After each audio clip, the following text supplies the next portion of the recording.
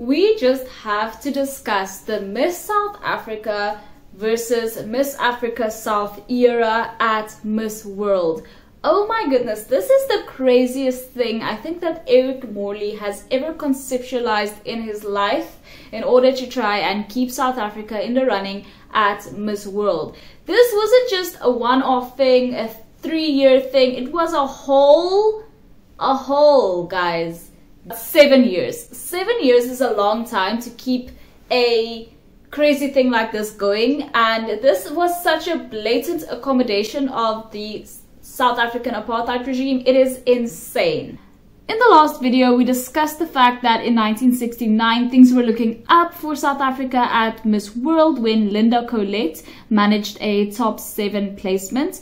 But in 1970, things were a bit difficult because the Miss World organization was pressured by the wider media to take a stance against South Africa and the apartheid regime. Um, obviously, as you guys know, only white women were allowed to compete at Miss South Africa. This was unfair to begin with. Furthermore, around the world, there were boycotts against South Africa. And so Eric Morley had to make a decision, you know. And so Jillian Jessup was Miss South Africa of 1970. But Eric Morley told the South African organization to also send a non-white contestant who would from then on be known as Miss Africa South. I know, how insane is that? And there were so many publicity shots of Pearl, the girl eventually chosen as the non-white Miss South Africa, or Miss Africa South rather, um, with Jillian and they were making it seem like these two were sort of besties and like everything was all sunshine and rainbows. And Pearl actually later came out and said that she was allegedly warned not to speak on the apartheid issue while she was overseas. Now, what ended up happening, really interestingly, Jillian Jessup, who was the Miss South Africa, placed as the fourth runner-up, but Pearl Jansen, who was Miss Africa South, was eventually crowned as the first runner-up at Miss World 1970. The eventual winner of Miss World 1970 was Grenada's Jennifer Hosten, and this was actually Grenada's debut year. Sweden's Marjorie Christel Johnson was a huge fan favorite to win, and there were so many people, you know, angry about the fact that uh, Sweden didn't win and she only placed as a runner up. And the Prime Minister of Grenada, Sir Eric Gairy, was actually on the judging panel, so a lot of people had a problem with that as well. Eric Morley actually had to go and reveal the judges' scores to explain the complex judging system at Miss World. And due to so much hate and pressure and people who were, you know, making a fuss about the fact that Sweden didn't win, um, Julia Morley, who was organizing director back then, actually temporarily resigned due to all of the backlash. I mean, oh my goodness. To make things even worse, you know, Jennifer Hosten was the first woman of African descent to win Miss World. And there's a whole dramatized film about this edition of Miss World called Misbehavior, starring Keira Knightley, released in 2020. It's pretty good. But yes, I can't I can't imagine Julia Morley having to temporarily resign due to pressure in a time where social media wasn't even a thing. That's so crazy. But that is something that happened in 1970.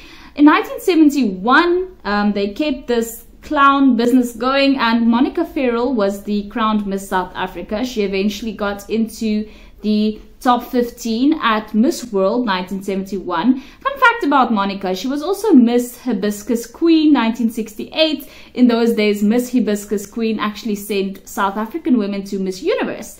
And so Monica Fairall also competed at Miss Universe 1968, but she went unplaced. A lot of people think this is because of her very sexy and controversial preliminary gown.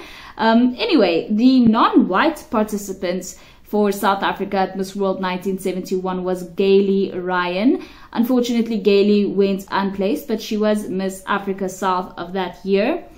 1972, Stephanie Reinecke was Miss South Africa and she placed in the top 15 at Miss World.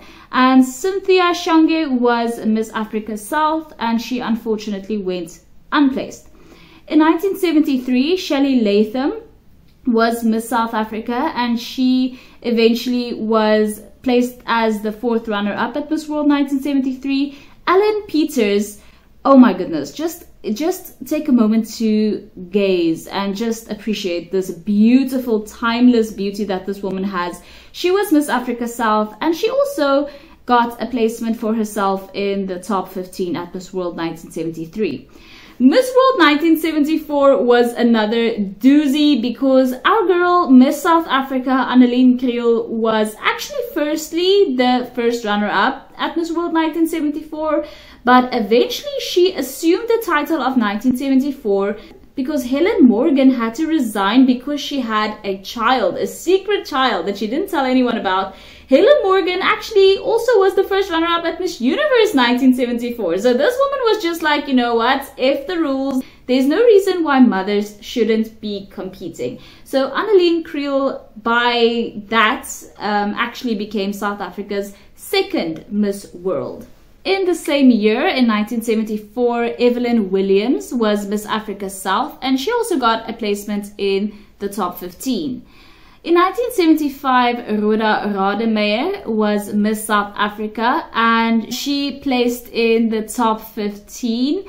Uh, Helga Vera Johns was actually supposed to represent South Africa. You know, she was crowned Miss South Africa 1975, but she was denied entry to Miss World um, and the thing is about Helga, she was actually supposed to be representing Rhodesia, which is now Zimbabwe, at Miss World 1972, but was not allowed, you know, despite the fact that she's a British citizen, because of the fact that Rhodesia had a sticky political situation back then. And I mean, the irony, the irony, the fact that they could do this whole song and dance with Miss South Africa and Miss Africa South for South Africa and their political situation, but they couldn't accommodate whatever was going on in Rhodesia. Hmm. Okay, so anyway, Helga then moved to South Africa where she was crowned Miss South Africa 1975, but she was denied entry to Miss World yet again. Uh, apparently due to the fact that she wasn't a resident of South Africa for at least five years, and those were the rules of Miss World, but it was probably still because she was from Rhodesia. So anyway, her first runner-up was not Rhoda Rademeyer, who eventually went to Miss World. Her first runner-up was actually Crystal Cooper. You know, she was the first runner-up at Miss South Africa 1975. But Crystal's father told her not to go to Miss World unless Helga was stripped of her Miss South Africa title and Crystal got the Miss South Africa title. Um, this obviously didn't happen, so eventually the second runner-up, Rhoda Rademeyer, was actually sent to Miss World 1975, where she did get into the top 15. The non-white counterpart, Miss Africa South, was Lydia Johnstone, and she unfortunately went unplaced at Miss World 1975. By 1976, a lot of countries grew, you know, a bit unamused with the arrangement with Miss South Africa and Miss Africa South and all of that. And people were getting a bit annoyed, you know, fairly so because South Africa has now an advantage, you know, uh, they were sending two women, you know, which is a bit unfair. But South Africa still did compete in 1976 and Lynn Massyn was Miss South Africa. She went unplaced. Veronica Mutsepe was Miss Africa South and she went unplaced as well.